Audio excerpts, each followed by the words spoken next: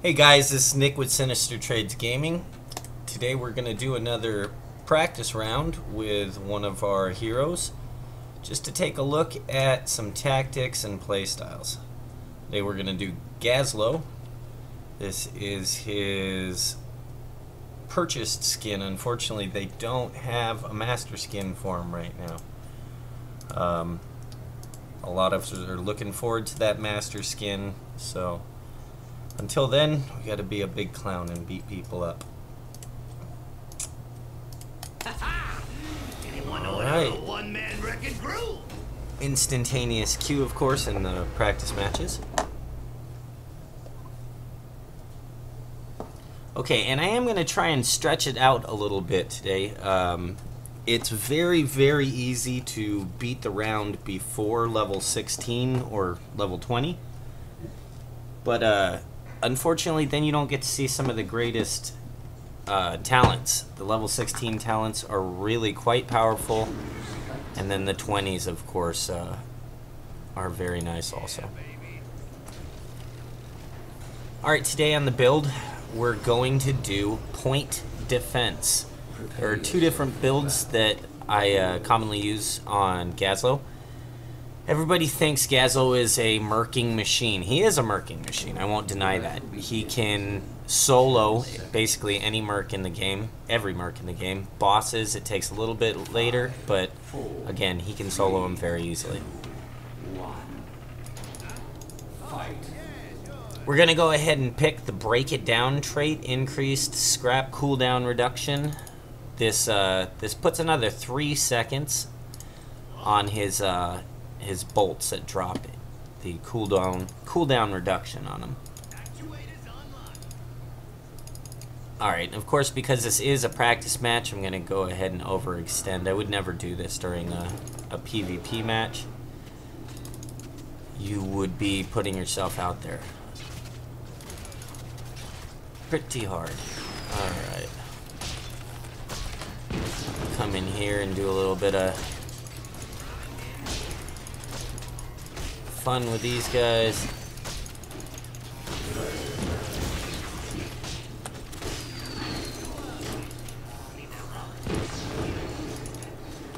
Now the important thing about Gazlowe to understand is that a lot of his damage is from these turrets. You need to stay around the turrets, try and hang out inside this circle of, uh, of destruction from your turret. Because uh, a lot of your damage will be will be dealt by them. They allow you to move around and not be stuck on melee with the person that you're fighting. To avoid ground-based attacks and AoEs. So really you want to draw your enemies back into these turrets and kind of play a running game.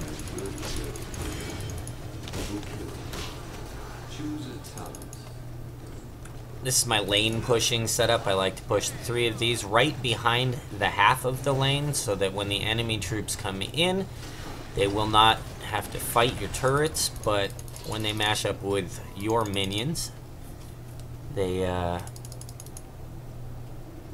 the turrets will do some serious damage to them.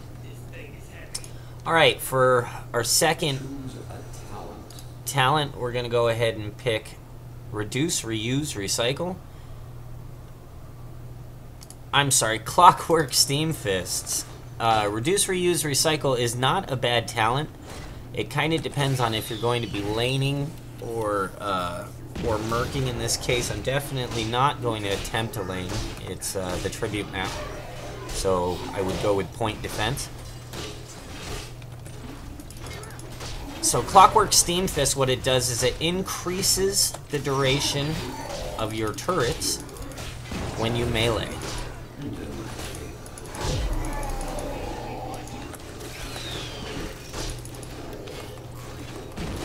So as I'm meleeing here, you can see the counter bar there just tapping up ever so slightly. And so cannons will stay out indefinitely if you are meleeing. That seems generous. This, might be a little dangerous here. Might be able to get a Valla kill.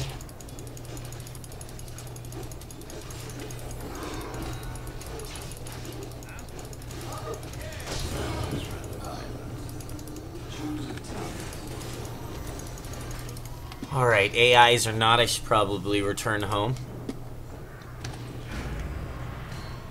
Alright, now, this is the major talent right here. You have either the mercenary talents, the Merc, Merc Lord. This increases the damage and health of mercenaries.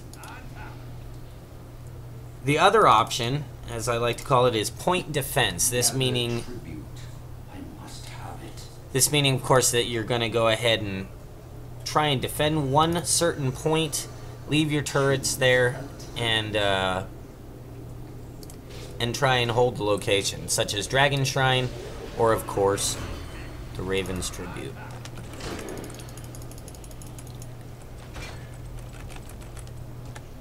Alright, the skill that I picked was Rocket Turret XL. Rocket Turret XL allows it to hit two targets. Um, it's a very useful ability. Two additional targets for 50% each.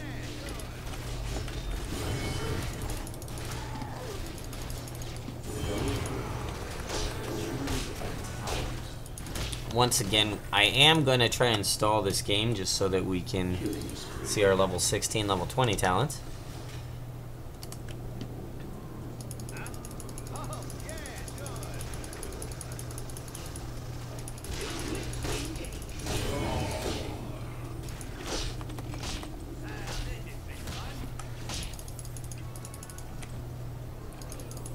By level 10, you really should not have a problem fighting knights, but I'm going to go ahead and show you the, uh, the low-level strategy for fighting your knights.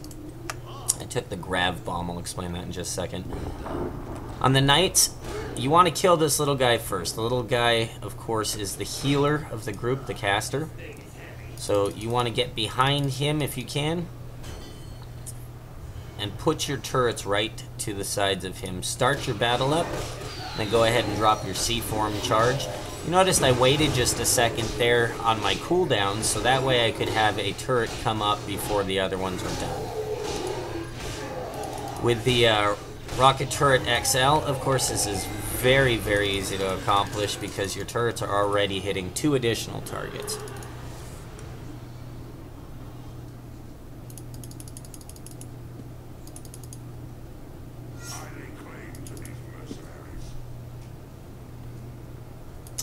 Alright, now what I'm going to do is I will, uh, if, if the AIs let me here, they'll probably show up too quickly, but I'm going to show you a low-level solo of a, go a golem.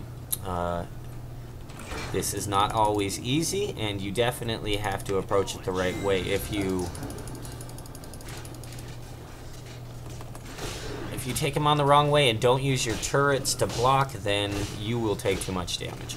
Alright, now what I did there was I ran down to go ahead and use Clockwork Steam Fist so that I could extend the time on my turrets enough to give me two more turrets. Now I need to start the engagement. I'm to take as much damage as I can. Yeah, of course, Valla shows up. The idea is to take as much damage as you can and then back out. At that time, the golem will attack your turrets. Your turrets count as additional targets. The golem always attacks the target closest to him. So if you step back behind your turrets, the golem will then attack your, your turrets instead of you. The turrets can only take about three hits, maybe two. Uh, they, uh, they will also be affected by the AoE crash that he does. So you do need to be aware of that and stay on top of it. Valla stepped into a bad situation there. This, uh... I should have been careful. This might actually end the game a little too fast. Between the boss downstairs and, uh, and the one that'll be showing up here, this, uh, this will probably be too much for the computer to handle. Once again, I'm going to wait for just a minute. so that we can get closer on that cooldown. Again, the trick here is to make sure you drop those turrets as fast as possible when your cooldown is up. Back out during the green.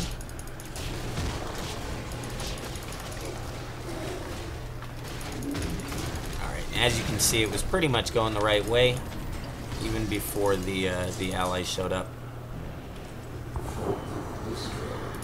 Alright, here it is. Really, the level 16 talent is my favorite. Uh, turret storage. I could not uh, recommend this enough. Turret storage increases the number of turrets that you can carry to four. Um, being able to drop four turrets at a time and continue their duration by meleeing is uh, is invaluable. It uh,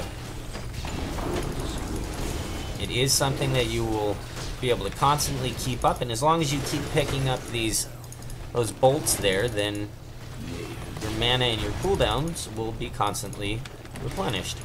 The other nice thing is, of course, it does reduce the cooldown on your ult. Alright, that's game, unfortunately. We will uh, we'll demonstrate the Gaz Bomb combo in another video. And uh, I hope you enjoyed this, uh, this walkthrough.